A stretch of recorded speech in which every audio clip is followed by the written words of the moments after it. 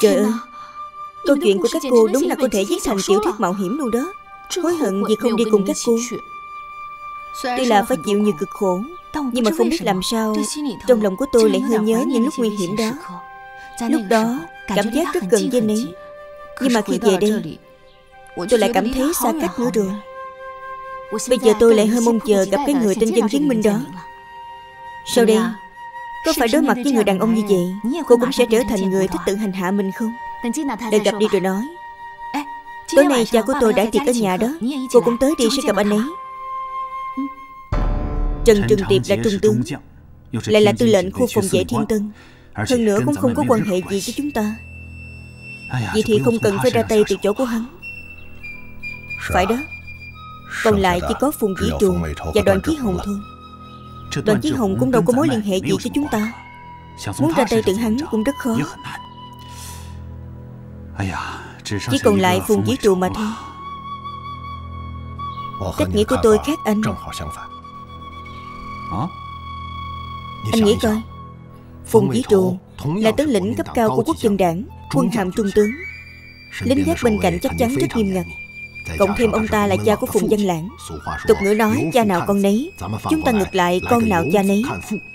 Nghĩ tới sự nham hiểm đa nghi của Phùng Văn Lãng Thì không khó tưởng tượng con người của Phùng Vĩ Trụ rồi Có lý, rất có lý Cái tên Phùng Văn Lãng đúng là nham hiểm. Ngoài mặt thì nhát gan sợ sệt Cung kính khiêm nhường.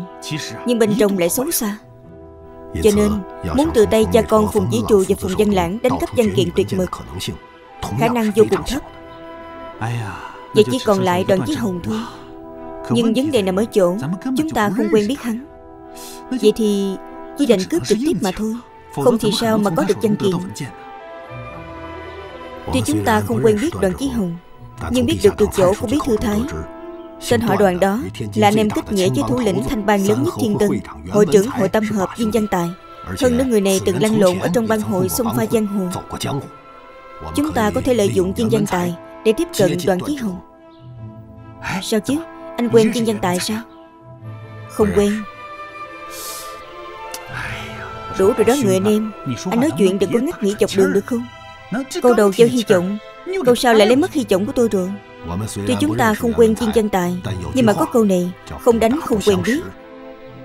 Ý của anh muốn nói Viên danh tài có thể cậy nhờ thế lực của đoàn Chí Hồng lộng hành ở Thiên Tân Sao chúng ta không thể cậy nhờ thế lực của Diệp Hồng Khai Chuyện này Ý của anh muốn nói Là đánh viên danh tài sao? Cuối cùng thì anh cũng hiểu. Tôi, tôi đâu có hiểu. Anh đánh viên văn tài Thì sẽ kết thù với đoàn chí hồng đó. Như vậy càng khó tiếp cận hơn. Như vậy làm sao lấy danh kiện? Vậy thì phải coi đánh làm sao? Đánh làm sao? Đâu thể vừa đánh vừa yêu được chứ. Thôi đi thôi đi Đánh là để làm quà. Cho nên phải đánh cho đâu Đánh cho hắn hết đường luôn. Đánh cho hắn mất hết mặt mũi. Đánh cho hắn không làm quà được với chúng ta, Thì sẽ không thể lăn lộn tiếp ở Thiên Tân. Tới khi đó, sẽ có cơ hội thôi. Như vậy Như vậy có được không đó? Liệu có chữa lận lành thành lận què không? Trước khi gia nhập đội ngũ của chúng ta, Tôi từng lăn lộn ở bang hội Thiên Tân. Người trong bang hội chú trọng nhất là thể diện. Ví dụ như chuyện đánh nhau. Cho dù anh đánh thắng nhưng mà mất thể diện Thắng không dễ dàng. Thì chỉ bằng thua cho người ta coi trọng. Đúng là ngộ thiệt đó. Đánh thắng mà còn thắng không bằng thua. Vậy thắng làm gì? Cái này thì anh không hiểu đâu. Cho nên côn đồ ở Thiên Tân Chú trọng bốc thăm. Bốc thăm là cái gì? Tôi kể cho anh nghe. Ví dụ như anh muốn đi giải quyết một chuyện gì đó Nhưng mà đối phương là người đông thế mạnh Còn anh chỉ có một mình thôi. Anh nên làm sao đi Anh cầm theo một con dao làm bếp, Chặt ngón tay của mình, Ném ngay ở dưới chân của đối phương. Nếu dưới trướng của đối phương cũng có người như vậy, Thì sẽ cho ra một người bốc thăm cùng với anh, Cũng chặt ngón tay đó. Vậy là anh chặt tiếp ngón thứ hai, Cho tới khi đối phương phục thì thôi, Cho anh thể diện, Thì sự việc sẽ được giải quyết. Nhưng mà đối phương lên hết thì sao? Không đâu. Có câu là nhà môn nói dường pháp, Giang hồ trọng quy tắc Đây chính là quy tắc giang hồ. Phá hỏng quy tắc Cho dù là ai thì cũng sẽ khó có chỗ đứng. Đây, đây là gì vậy Đúng là tự hại mình rồi. Phải, tự mình hại mình. Lăng tấm đinh nhúng chảo dầu chặt tay chặt chân Quả cầu lửa đang cháy bỏ lên đùi Không thiếu thứ gì hết. Mục đích là chèn ép đối phương về mặt khí thế Giải quyết vấn đề bằng thế diện. Nhưng nếu như anh không phải kiểu này Mà dựa vào người đông thế mạnh Hoặc là hạ mình cầu xin Nhờ giả để đạt mục đích Thì cho dù có thắng Cũng khiến người ta coi thường thôi. Hiểu rồi. Chính là cường khẩu khí kiếm thể diện Nói rất đúng. Viên tranh tài lăn lộn ở phố chợ Cũng là người như vậy. Cho nên hắn coi trọng nhất là thể diện. Chỉ cần anh đánh cho hắn mất đi thể diện Thì còn khó chịu hơn cả giết hắn. Nếu đã như vậy Thì tại sao hắn lại không giết chúng ta? Còn đòi giảng quà với chúng ta làm gì Đầu tiên, nếu hắn giết nổi chúng ta Thì sẽ không mất hết thể diện。Thứ hai, cho dù hắn giết được chúng ta Thì thể diện bị mất cũng không tìm lại được。Cho nên hắn chắc chắn sẽ tìm cách lấy lại thể diện。Nếu viên danh tài thật sự giống như lời anh nói Vậy thì kế sách này của anh Có lẽ có tác dụng đó。Tin tôi đi Tôi hiểu rõ họ mà Bản công trình phòng ngự trong tay Diệp Hồng Khai Cũng rất quan trọng đó Hơn nữa ông ta cũng có cần chúng ta Tôi thấy nên giải quyết chuyện này trước Rồi mới khai chiến với viên danh tài Nói không sai Hiện tại nhiệm vụ của chúng ta là dùng tốc độ nhanh nhất đánh cắp bản vẽ công trình phòng ngự tự tay của Diệp Hồng Khai. Cùng lúc đó, mua lại một cánh hát gánh kịch hoặc là nhà hát ở đường Bắc Mã. Nhờ các đồng chí của đảng ngầm tìm ra người hoặc là việc có mâu thuẫn với chuyên dân tài, từ đó tạo ra mâu thuẫn với chuyên dân tài luôn. Điều may mắn là bản vẽ công trình phòng ngự ở trong tay của Diệp Hồng Khai.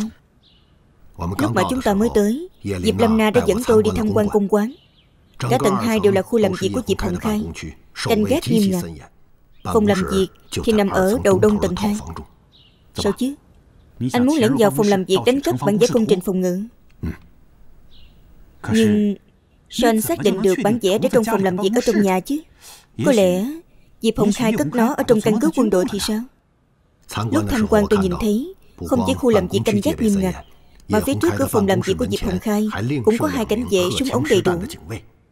anh nghĩ coi Nếu không cất giữ cái gì đó quan trọng Hoặc là tiền vàng gì đó Thì làm gì canh gác nghiêm ngặt như vậy Anh nghĩ xem có đúng không Có lý Đây cũng chỉ là suy đoán của tôi thôi Nhưng cho dù có bản vẽ hay không? Thì cũng phải vào đó. để xem thử Nếu như không có ở đây Thì chúng ta sẽ nghĩ cách khác. Phải đó Không vào hang cọp Làm sao bắt được cọp con? Tối nay Diệp Hồng Khai sẽ đãi tiệc. Tất cả mọi người đều ở dưới lầu. Đây là cơ hội tốt ngàn năm mới có. Tối nay ra tay luôn sao? Để lâu sẽ có chuyện đó. Vào đi Đội trưởng Phó Văn Tôn tới. Mời vào đi. Phó Văn Tôn mời vào Được. Đội trưởng dân, đội phó cao. Sư đoàn trưởng dặn dò đi lấy hai bộ quân phục mới. Cho hai chị mặc vào bữa tiệc tối. Không biết có vừa người không? Được. Cảm ơn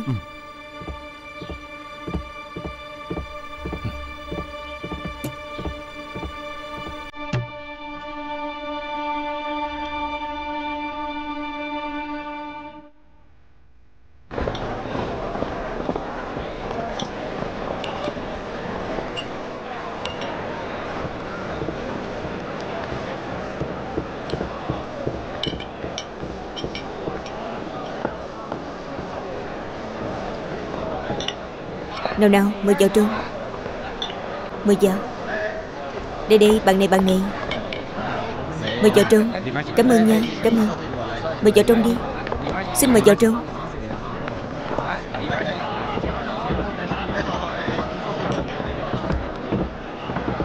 Xin chào, Tiểu thư. Phải đó, Về rồi. Tất cả mọi chuyện đều đã qua hết. Bà nội. Cha, Các chị nói chuyện đi, tôi qua kia. Được. Bất Diệp Bà nội Mỹ Kỳ tới rồi sao Bất Diệp Cháu đến khiến bác phiền lòng rồi phải không Bác sẽ không đuổi cháu đi chứ Cha của cháu và bác có giao tình lâu năm Cháu có làm gì không đúng Thì bác cũng không đuổi cháu đi lúc dùng bữa Như vậy là đạp đổ chén cơm của người ta rồi Đây là thiên kim của sư đoàn trấn Diệp tên Lâm Na Không chỉ xinh đẹp Mà còn là tiến sĩ đại học Stanford nữa đó Nghe nói Cậu ấm của Phó Tư lệnh Phùng đang hẹn hò cùng với cô ấy. Hai nhà sắp thành thông gia rồi. Thật vậy sao? Tôi thấy đây mới đúng là môn đăng hộ đối. Phải đó, Sư đoàn trưởng cao tới. Này Mickey Hai đứa cứ nói chuyện đi nha. Bác đi tiếp đón. Bác Diệp cứ tự nhiên. Được rồi, Mẹ con đi nha. Đi đi. Bà nội, Con dẫn Mickey qua kia để chào hỏi mấy người bạn nha. Đi đi. Mình đi. Dạ chào tiểu thư. Dạ. Đúng là không tệ đó. Diệp tiểu thư, Lâu rồi không gặp, Lâu rồi không gặp. Bạn thân của tôi đó, Mỹ Kỳ. Chào cô. Chào anh. Mọi người nói chuyện đi. Ăn nhiều vào nha. Dạ Mời cô. Dân chứng minh gì đó của cô khi nào mới tới? Sao tới giờ vẫn chưa xuất hiện gì Không phải người đàn ông của cô. Cô gấp gáp làm cái gì chứ? Còn nói là tôi thích hành hạ mình nữa. Xem ra về chuyện này, Cô không hề thua kém tôi rồi.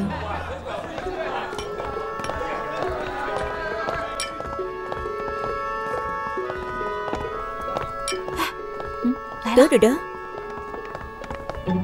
Đội trưởng dân Đội phó cao Tiểu thư Không phải ở trên thuyền đã nói rồi sao?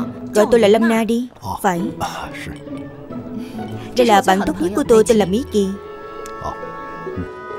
Cả buổi chiều nghe tên của anh Muốn rách cả tai luôn rồi đó. Lâm Na đó Cứ luôn kể về chuyện của anh. Được đó nha. Còn tưởng anh là quân nhân cao to thô kệch Không ngờ lại đẹp trai như vậy Thật sự không liên tưởng được cái câu chuyện mà Lâm Na kể đâu. Thật sự không biết Lâm Na tiểu thư đã kể gì về tôi. Cô ấy kể Anh giống như là thần tiên hạ phàm Cảm giác như chỉ cần thổi một phát Cũng có thể giết chết mấy chục tinh nhật gì đó. Thôi đi, cậu thấy ghét quá. Đội trưởng dân, anh đừng nghe lời của cô ấy. Cô ấy chỉ là giỡn như vậy thôi. Xem ra Mỹ Kỳ tiểu thư đây Chắc là một ký giả Cô nhắc về tôi với nấy sao? Đâu có. Thật sự là không có. Vậy sao nấy lại biết tôi là ký giả? Dựa vào cách nói chuyện thôi. Và còn Kiểu cách rất tự nhiên. Điều này anh nói quá đúng luôn. Kiểu cách của cô ấy đúng là rất tự nhiên. Nói gì chứ? Mỹ Kỳ là ký giả của báo Đại Công đó. Có cái miệng giỏi nhất thiên tân Nổi tiếng về tài ăn nói. Đội trưởng dân Ít khi có chuyện gì đó khiến tôi ngạc nhiên. Anh là ngoại lệ đó Được lắm. Lần đầu tiên gặp đã ra qua như vậy rồi. Xem ra Lâm Na không hề kể lố Sao đây Bây giờ cô phục được chứ. Phục cái gì? Nói không chừng sau này tôi còn tranh người tình với cô đó. Nói gì vậy? Ai là người tình của ai? Cô nói ai là người tình của ai? Nói gì vậy chứ? Cô đánh tôi sao? Còn nói nữa tôi đánh cô đó. Đánh đi đánh đi. Đánh tôi nữa nè. Còn dám nói tôi xé miệng của cô nha. Sao tôi ngửi thấy mùi qua ở đây chị chứ Mùi qua gì Là qua đào đó có cái nét mặt của anh đi. Thậm thà thậm thục Rốt cuộc muốn nói gì đây? Tôi thấy anh có giận đào qua rồi. Lớn già cái đầu rồi, Sao không nghiêm túc gì hết? Người ta là đại tiểu thư, Để mắt tới tôi sao? Nói mà cũng không thấy ngại nữa. Anh đừng có nói như vậy. Da thịt thô ráp, Cốt cách kiên cường. Mỗi người đều có ưu điểm riêng. Toàn là nói chuyện không đâu. Dùng lời của người thiên tân chúng tôi Là hai bên chẳng liên quan gì với nhau hết. Sao anh không hiểu chuyện tình cảm gì hết vậy. Đại tiểu thư thì làm sao? Anh có nghe về một giới kịch không? Người bán dầu độc chiếm qua khôi. Tôi là người bán dầu sao? Thì tôi đang ví dụ thôi mà. Ví dụ cái gì tốt hơn có được không? Phó tư lệnh Phùng và tham nghị Phùng tới. Anh Vĩ Trường, anh Hồng Khai.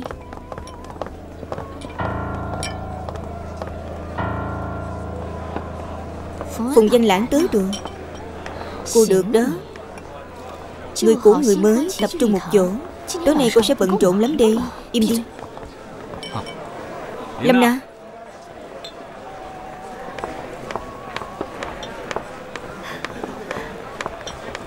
Chú chào bác Phùng Chào cháu Dân lãng tới rồi Đám trẻ con nói chuyện với nhau đi Đừng có cùng mấy ông già này nữa Dạ Dân lãng qua đi Hai vị trưởng quan cứ nói chuyện Tôi đi qua kia trước Được Anh Hồng Khai Tôi thấy hôn sự của sắp nhỏ Nên tính được rồi đó. Chuyện này nên làm lẹ đi. Phải đó. Chọn ngày lành tháng tốt Tổ chức đám cưới là vừa rồi. Phải rồi. Chúng vị trưởng quan Trần cũng định tới. Nhưng vị trưởng quan phó gọi tới Bắc Bình rồi. Nghe nói trưởng quan phó Lén cầu quà với quân Cộng sản. Trần Trường Điệp là thân tín của trưởng quan phó. Lúc này bị gọi tới Bắc Bình. Chắc là có dụng ý. Không biết Tổng thống có biết vụ này hay không? Đương nhiên là biết Thứ trưởng Bộ Quốc phòng Trịnh Giới Dân đó Đã đi Bắc Bình hai lần. Chính là đánh tiếng với Phó Tắc Nghĩa Để ngoan ngoãn hơn. Trịnh Giới Dân là tiền nhiệm của Mao Nhân Phượng, Nhân vật lớn của quân thống. Ông ấy đích thân đi. Phó Tắc Nghĩa chắc chắn sẽ hãm bớt lại. Phó Tắc Nghĩa đang nắm trọng binh, Sẽ không coi Trịnh Giới Dân ra gì đâu. Một khi ông ta bắt tay làm quà với Cộng sản, Chỗ chúng ta còn gì để đánh nữa? Không thể nói như vậy được. Tổng thống đã nhiều lần ra lệnh rồi, Phải tử thủ Bình Tân Phó Tất Nghĩa dám trái lệnh, Thì sẽ không có kết cục tốt. Hơn nữa chuyện ông ta cầu quà với đảng Cộng sản, Chỉ là đồn đại thôi, Không có chứng cứ xác thực. Cho nên anh Hồng Khai đừng có tin lời đồn đó. Càng không được dao động lòng quân. Vấn đề là ở lòng quân đã dao động sẵn rồi. Hàng triệu quân Cộng sản tấn công Bình Tân, Đây là chuyện sớm muộn thôi. Tôi dám chắc, Đội quân tấn công Thiên Tân chắc chắn không ít hơn 30 vạn. Mà quân phòng ngự Thiên Tân miễn cưỡng chỉ được có 10 dạng thương So sánh mạnh yếu là thấy rõ ràng ngay, Chúng ta liều chết chống lại cũng được. Chỉ sợ vào lúc mấu chốt, Có người đâm sau lưng. Tự giữ thân mình Bán đứng bạn bè, Vậy thì chúng ta sẽ thành kẻ chết thay đó. Xin mời.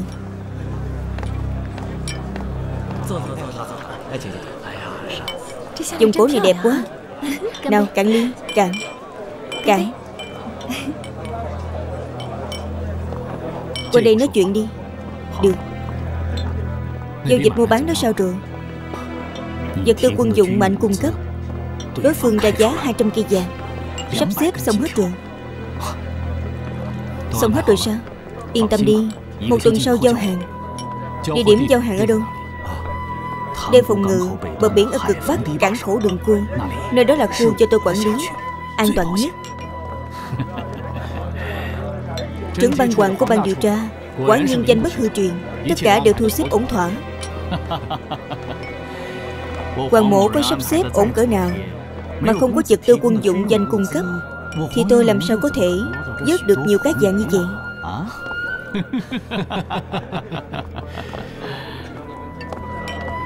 Bán lại vật tư quân dụng là tội rơi đầu đó. Chuyện này phải bảo mật. Bằng không Chúng ta sẽ tiêu tùng đó. Ngay cả cha của tôi cũng không thoát khỏi liên can Anh yên tâm đi Bảo đảm không chút sai sót. Phải rồi. Hôm trước tôi tới điểm giao hàng Tại đê phòng ngự bờ biển. Có phát hiện một xuồng cứu sinh. Trên xuồng có một người bị thương nặng đó. Liên quan gì tới tôi? Nói gì thì nói. Thật sự là có liên quan tới anh đó. Tức là sao? Người này thoát ra từ thuyền sùng minh Có tên là Dân Kiến Minh. Cái gì? Là hắn. Hắn nói là có quen với anh Phùng đây Hắn chưa chết. Giờ hắn đang ở đâu? Bệnh viện lục quân. Hắn còn nói. Hắn còn nói Đội trưởng Dân Kiến Minh cứu các anh Là gián điệp của Cộng sản Giả mạo mà thành đó. Không sai.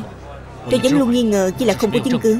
Hơn nữa tôi thấy Lâm Na Hình như có thiện cảm với anh ta lắm Thậm chí Thậm chí cái gì? Thậm chí là thích anh ta. Cái tên họ dân đó có mấy cái đầu chứ? Mà dám cướp đồ ăn trong hang hổ, Tôi thấy anh ta không muốn sống nữa rồi. Đừng có coi thường anh ta Anh ta không phải người thường đâu. Điềm tĩnh chính chắn, Không bao giờ quảng loạn, Thần kinh như sắt thép vậy đó. Ở trên thuyền, Tôi lén sắp xếp cho anh ta đối chất với dân kiến minh. Không ngờ dân kiến minh bị anh ta nói cho câm họng luôn. Không biết nói gì hết. Đây đúng là một trò cười mà. Người thật là bị kẻ giả mạo. nói cho câm họng. Cả đời này của tôi Lần đầu gặp chuyện như vậy luôn đó. Công tử Tôi thấy là cậu quá mềm lòng rồi. Anh ta dám có ý đồ với người phụ nữ của anh. Là đáng để tiêu diệt rồi. Không bằng không cớ Thì khó mà ra tay được đó Cần gì chứng cứ chứ. Chỉ cần dán cho anh ta tội danh gián điệp cộng sản Lôi đi bắn chết là xong, Không ai hỏi tới đâu. Tên dân kiến minh giả đó, Là ân nhân cứu mạng của hai bà cháu Diệp gia. Không có chứng cứ mà bắt người như vậy, Sẽ không qua được ải của Diệp Hồng Khai đâu. Sau đây, Sư đoàn trưởng Diệp lớn cỡ nào Thì cũng hơn phó tư lệnh Phùng sao? Ông ấy là thân tín của Tổng thống. Để ông ấy lên tiếng là xong rồi. Tôi cũng muốn nhanh chóng diệt trừ anh ta lắm. Nhưng sư đoàn 301 của Diệp Hồng Khai Là chủ lực phòng thủ trong ngoài thiên tân. Lúc mấu chốt, vẫn cần ông ta bán mạng, Nên không được hành động lỗ mãn Anh tưởng giữ được thiên tân sao? Cha tôi đã nói, Tổng thống đã hạ mật lệnh. Chỉ cần quân Cộng sản định bao vây thiên tân, Cha tôi sẽ lập tức dẫn quân chủ lực Bắc Kinh và Thiên Tân rút tới miền Nam. Vậy còn Diệp Hồng Khai, Ông ta cũng thuộc hệ hoàng Phú. Hệ quan phố cũng có thân có nhạc có gần, có xa. Phiên hiệu của Diệp Hồng Khai từng bị quân Cộng sản tiêu diệt. Sư đoàn 301 của Mỹ là quân đội mới chiêu mộ, Sức chiến đấu rất tệ, Cho nên Tổng thống ra lệnh để lại sư đoàn 301 của Mỹ liều mạng với quân Cộng sản, yểm hộ chủ lực rút về miền Nam. Thì ra là vậy. Phùng công tử, Lúc rời đi, Sẽ không quên hoàng mổ chứ anh là cộng sự của tôi. Có quên ai cũng không quên anh đâu. Về mọi chuyện Xin nhờ kệ công tử. Cứ để tôi lo. Công tử cứ yên tâm đi. Tôi nhất định sẽ tiêu diệt cái tên dân kiến minh giả đó. Không được lỗ mãn Nếu không là hư chuyện đó. Chúng ta có dân kiến minh thật. Còn sợ kẻ giả mạo không bại lộ sao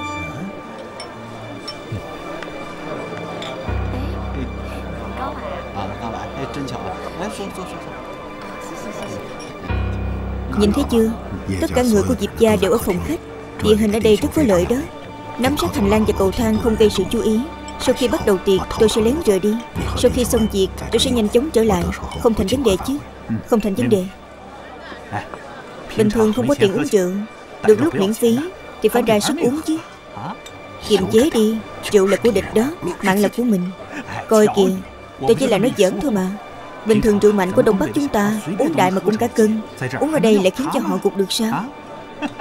Sau khi quay lại tôi sẽ lập tức ra tay.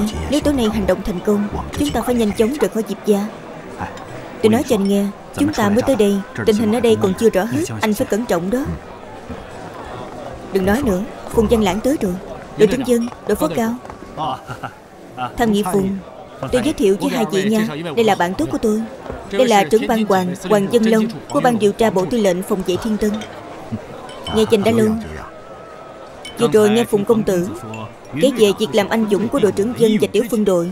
Hoàng mổ vô cùng khâm phục. Không dám. Trưởng ban hoàng quá khen rồi. Tôi và Phùng Công Tử là bạn thân của nhau. Hai chị cũng là bạn của Phùng Công Tử. Công Tử, Tôi thấy như vậy. Ngày mai tôi làm chủ. Mở tiệc ở Đăng Doanh Lâu. Mời cả Lâm Na tiểu thư tới làm tiệc tẩy trần cho đội trưởng dân và các anh em có được không?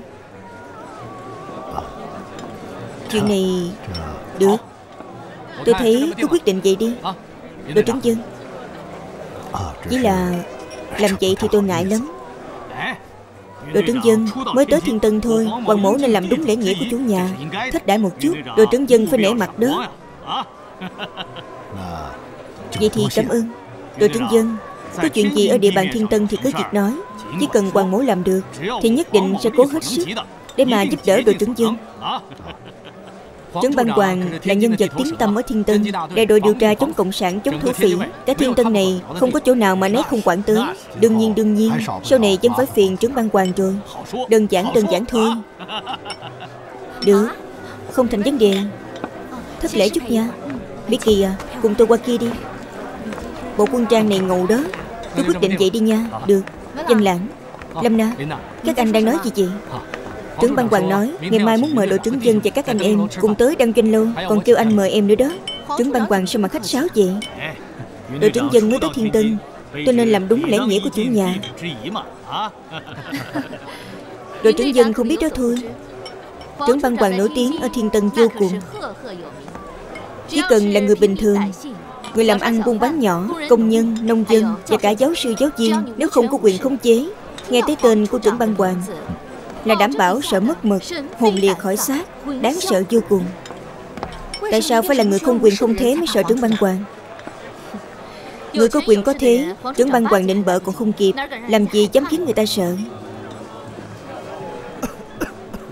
Giống như trước mặt của Phùng Công Tử vậy đó Trưởng ban hoàng ngoan ngoãn như là một chút cừu non nhưng tới trước mặt của người dân không quyền không thế Thì trưởng ban hoàng lập tức trở thành sư tử nhè nanh múa chiếc Thôi đi Cô nói chuyện tích đức một chút. Anh ấy bị cô nói ngại lắm rồi kìa. Mỹ Kỳ tiểu thư nặng lời quá rồi đó. Cũng không thể nói vậy được. Trưởng ban hoàng là trưởng ban điều tra. Chức trách là chống cộng, chống thổ phỉ Bảo vệ trị an cho thành phố Thiên Tân. Không có họ người dân sao mà sống cuộc sống bình an được chứ? Sao lại có thể tổ chức tụ họp gia đình như vậy được? Là anh sống bình lặng nhàn nhã thì có. Người dân thì sống trong biển lửa kia kìa. Anh biết giá gạo trên thị trường là bao nhiêu được không? 300 đồng tiền giấy không mua nổi nửa ký gạo Chứ đừng nói là thịt trứng. Lính bại trận chạy về Đông Bắc Tụ tập đi ăn xin ở ngoài đường kia kìa. Không ai cho thì đập phá cướp bóc. Dân chúng thấp thỏm lo ôn Cuộc sống như vậy Mà gọi là bình lặng, nhàn nhã hay sao? Chuyện này Đương nhiên đây là thực tế. Nói tới ban điều tra chống cộng sản, chống thổ phỉ, bảo vệ trị an Tôi là muốn hỏi trưởng ban hoàng Đặc vụ của ban điều tra các anh thấy người là bắt Dám nói vài câu cằn nhằn là kéo đi bắn chết. Trong những người đó được bao nhiêu người là cộng sản Bao nhiêu người là thổ phỉ? Mỹ Kỳ tiểu thư Ban điều tra chúng tôi bắt người đều là đầy đủ chứng cứ Chưa bao giờ bắt bớ bậy bạ đâu. Vậy sao? Ba ngày trước Một người bán bánh bao chiên. Chỉ vì cằn nhằn vài câu Mà bị người của ban điều tra các anh bắt đi bắn chết. Tôi nhớ không nhầm chứ. Chuyện này Chuyện này Tên bán hàng đó là gián điệp của đảng Cộng sản. Tin tôi có được, Hình như khác với lời của anh nói. Theo như tôi được biết, Người bán hàng đó là người buôn bán bình thường, Vẫn luôn buôn bán ở chỗ của Tiểu Bạch Lâu. Nhưng mà vì lính quốc quân các anh Đập lò và chảo chiên của người ta, Cho nên Người ta chỉ nói vài câu thôi.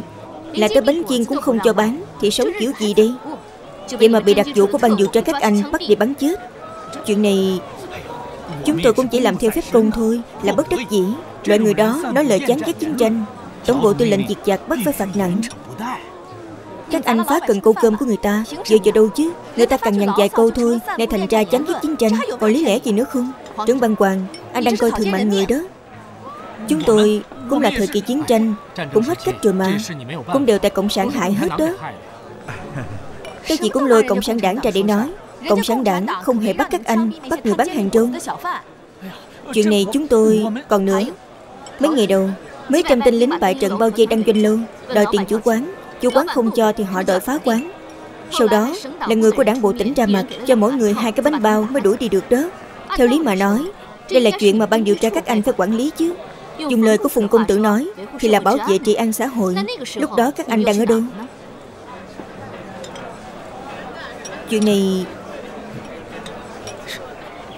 Được rồi Mickey Cô bớt nói vài câu đi Có lúc bên dưới làm việc hơi quá khích Lừa biến qua loa cũng là chuyện hay thấy Những chuyện này đâu thể trách tưởng ban hoàng được Con người của anh đó Không có chút nguyên tắc Dùng người không khách quan chỉ biết qua loa thôi Thiếu nguyên tắc Anh nói thật mà Hiện tại cục diện thiên tân hỗn loạn Đâu phải điều mà một mình trưởng ban hoàng kiểm soát nổi đâu Phải đó phải đó Chúng tôi chỉ biết dốc sức mà thôi Còn một chuyện nữa Không biết trưởng ban hoàng có biết hay không Chuyện gì vậy có người bán lại vật tư quân nhu Để đổi lấy vàng đó. Chuyện này Chuyện này Thì Hoàng mổ thực sự là không biết Không biết Mỹ Kỳ tiểu thư Lấy được tin tức này ở đâu vậy? Anh không cần hỏi tôi biết từ đâu.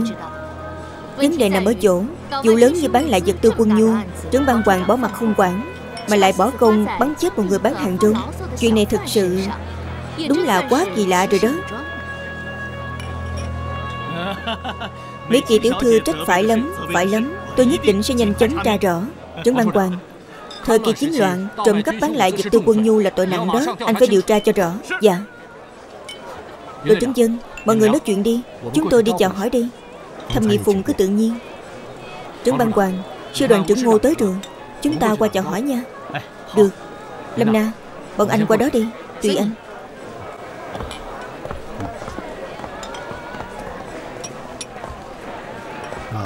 Mỹ Kỳ tiểu thư ăn nói sắc bén Khiến hai vị kia không biết trốn đi đâu Tự giác rời đi Chống cộng sản, chống thổ phỉ, bảo vệ trị an gì chứ Rõ ràng lấy cớ chống cộng sản, bóc lột người dân Coi thường mạng người dơ chết của cải. Sau lưng toàn làm mấy trò dơ bẩn. Vừa rồi cô nói trộm cắp bán lại vật tư quân nhu là ai vậy? Trừ chồng tương lai của cô thì còn ai vào đây Danh lãng Tôi nghe bạn bến tàu của tôi nói cho biết đó Nói là ở bến tàu, Người vận chuyển vật tư quân nhu đều là sĩ quan, Cầm theo lệnh của phó tư lệnh Phùng Và công văn phê duyệt của Phùng Văn Lãng. Dù sĩ. Lui đi. Dạ. Cậu dân. Quách đại ca, Sao rồi? Thu xếp ổn hết chưa? Xong rồi. Tạm thời ở lại nhà sư đoàn trấn diệt, Không phải tạm thời, Cứ ở lại đây luôn đi. Phải đó, đội trưởng dân. Sao Lâm Na lại nợ? Để các anh đi chứ. Cô không nói, không ai nói cô cầm đâu. Nói thì ít nhất cũng chứng tỏ sự tồn tại của tôi. Mỹ Kỳ tiểu thư nói chuyện đúng chỗ hay đó, Mà còn hài hước nữa. Đúng là ký giả nổi tiếng có khác. Có cả người tân bốc luôn sao? Sao đây, Người ta khen tôi thì thành tân bốc sao? Mỹ Kỳ tiểu thư xinh đẹp như vậy, Có tân bốc cũng rất là đáng. Hai người đó đúng là một cặp trời sinh. Đội phố cao, Cảm ơn anh đã ủng hộ. Đây là vinh hạnh của tôi. Với cao tiếng mà nói, Nếu có một thứ giỏi hơn đánh trận thì chính là miệng lưỡi. Muốn giỏi miệng lưỡi thì cũng đâu có dễ. Anh coi, mấy người kể chuyện tấu hài đó, Giờ giờ miệng lưỡi để mà kiếm ăn kia mà. Nói thiệt nha, Anh mà đi tấu hài, Nó không chừng là được đó. Để anh ấy kết hợp với Mỹ Kỳ đi. Mỹ Kỳ pha trò, anh ấy phụ quả Tôi thấy đội phó cao sẽ làm được. Mấy người đừng cười chúng tôi. Nó không chừng ngày nào đó chúng tôi sẽ nổi tiếng. Được thôi, Biết đâu được chứ. Quách đại ca, Phía anh thu xếp ổn thỏa chưa? Tôi đã tới ban huấn luyện thuộc Bộ Tư lệnh Phòng vệ. Sư đoàn trưởng Diệp đã đánh tiếng với họ Tôi ở lại sư đoàn 301 mở rộng thêm một trung đoàn. Tốt quá rồi Giờ trưởng đoàn Quách cũng trở thành cấp dưới của cha tôi. May mà có sư đoàn trưởng. Nếu không phiên hiệu của Quách mộ bị mất ở Đông Bắc rồi Tới Thiên Tân thì thành cô hồn giá quyển Phải dùng đám lính bại trận đi ăn xin đó. Chúc mừng Quách đại ca Giờ thì anh vừa có lính vừa có tướng còn không phải là nhờ các anh em Cứu tôi khỏi Đông Bắc sao Không thì tôi thành tù binh của Cộng sản mất rồi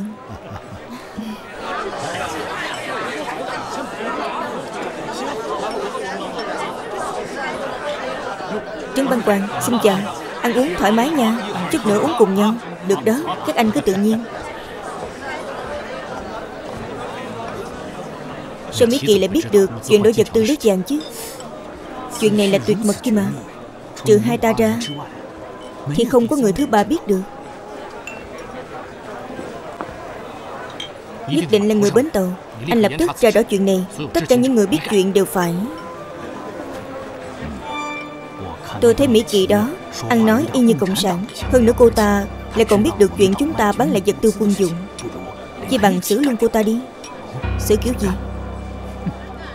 Tai nạn xe. Con người có lúc rất kiên cố Có lúc lại rất yếu đuối. Đụng nhẹ một cái là mất mạng thôi. Phải đó Tai nạn luôn xảy ra Bất kể ai Cũng khó tránh khỏi. Mời mọi người vào chỗ. Sắp bắt đầu rồi Chúng ta vào chỗ đi. Được mời. Mời mọi người vào chỗ Đội trưởng dân Sắp bắt đầu rồi. Anh và đoàn trưởng quách, Đội phó cao, Cùng ngồi với tôi ở bàn chủ nhà đi. Thôi đi. Cô biết rõ tôi rồi đó. Ngồi đây với anh em là được rồi. Không được đâu. Tôi muốn anh ngồi cùng với tôi. Đội trưởng dân, Anh nghe cô ấy đi. Không thì cô ấy sẽ khó chịu cả tối đó. Tôi không thích náo nhiệt, Không giỏi ăn nói. Ngồi ngoài cùng là hợp nhất. Trên bàn chủ nhà lớn như nói câu gì đó không hay, Đã khiến cho mọi người mất hứng. Đây là nhà của tôi, Ai dám mất hứng? Thôi, cô mau đi đi. Tôi và Cao Tiến ngồi đây được rồi. Bọn tôi uống dở lắm, Say rồi cũng dễ chuồn hơn. Thôi được rồi. Đừng có luyến tiếc hoài như vậy. Đâu phải không gặp nữa đâu. Bám người ta quá rồi đó. Cậu mới bám người đó Thì ghét quá. Vậy thôi được. Chút nữa tôi qua mời rượu anh nha. Không cần đâu. Các cô cứ ăn uống thoải mái. Coi như tôi không tồn tại đi. Đúng là lập dị. Thôi đi, đừng nói nữa. Đi thôi. Đoàn trưởng quách, Chúng ta qua đó đi. Hay là tôi cùng ngồi đây với cậu dân đi. Cha tôi dặn là phải mời anh qua đó. Phải đó Quách đại ca, Anh cứ qua đó ngồi đi. Vậy cũng được. Chút nữa chúng ta uống sau nha. Được. Vậy thì chúng ta qua đó. Đi.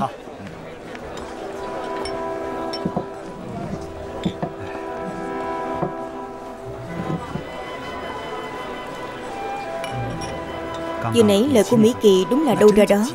Câu nào cũng nói trúng lòng dạ của hai tên xấu xa đó. Có thể thấy cô nhóc này nhanh mồm nhanh miệng, Tư tưởng cũng tiến bộ Như là quá thẳng thắn, Dễ rước quả giàu thân. Thật không ngờ, Phùng Danh Lãng còn trộm cắp bán lại vật tư quân nhu. Đây là chuyện rơi đầu đó. Cô ta và Hoàng Chân Long thông đồng với nhau. Tôi thấy tên họ Hoàng đó, Mời chúng ta đi ăn, Đúng là cáo chút tích gà không có ý tốt Chúng ta nhất định phải cẩn thận. Chúng ta là khách của sư đoàn chúng diệp, Không dám làm gì chứ. Tôi đã ngửi được mùi nguy hiểm ở đây. Sau khi trộm được bản vẽ công trình phòng ngự Chúng ta phải mau chóng rời đi. Các vị các vị Trật tự đi. Mời chú nhà là sư đoàn trấn Diệp nói vài lời. Được hay lắm. Các vị Tối nay Diệp mổ đã tiệc ở công quán. Chủ yếu là vì mẹ và con gái. Bình an trở về từ Đông Bắc Làm tiệc tế trần cho họ Tôi muốn cảm ơn đội trưởng dân của ban đặc cần Tân lục quân Và các anh em của tiểu phân đội Đã bảo vệ suốt quãng đường. Cảm ơn Phó Tư lệnh Phùng và các vị Dành thời gian tới đây. Diệp mổ Xin kính các vị một ly. Nào nào cạn cạn Cạn đi. Mời mọi người ngồi xuống. Mời ngồi Mời ngồi mời ngồi Ngồi đi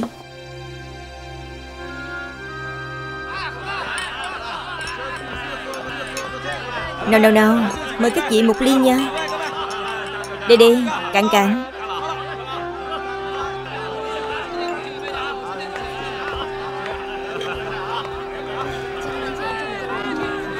Tôi cũng mời một ly.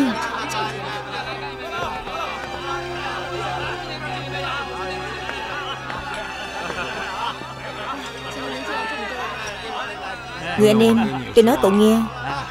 Cậu Cao Cậu và cậu Dân, Mọi người đều là anh em ruột thịt của tôi. Nhất là cậu đó, cậu Dân. Sau này có chuyện gì Chị cứ nói cho anh đây một tiếng. Có anh đây sẽ không để các cậu chịu thiệt thòi đâu. Anh sẽ che chở cho các cậu. Được. Quách đại ca, Sau này sẽ cần nhờ giả tới anh đó. Nào, cạn. Tôi cạn nha. Cạn rồi đó. Được lắm Quách đại ca. Rót thêm một ly nữa nha. Đi. Anh em tứ, Hai ta cùng nhau cạn ly đi. Nào Quách đại ca.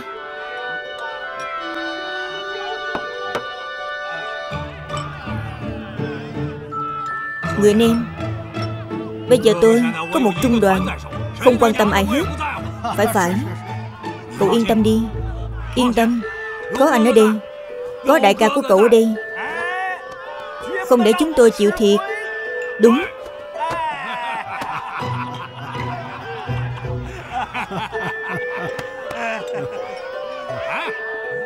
Các cậu xem. Uống say hết từ kìa. Đó cũng là một nhóm anh em với tôi. Đều là đồng hương hết.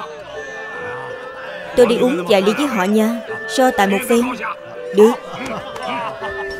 Nè câu tiếng Đỡ quách đại ca đi. Được rồi, chậm thôi chậm thôi. Đội trưởng Sư đoàn dịp tới rồi. Nào, mời một ly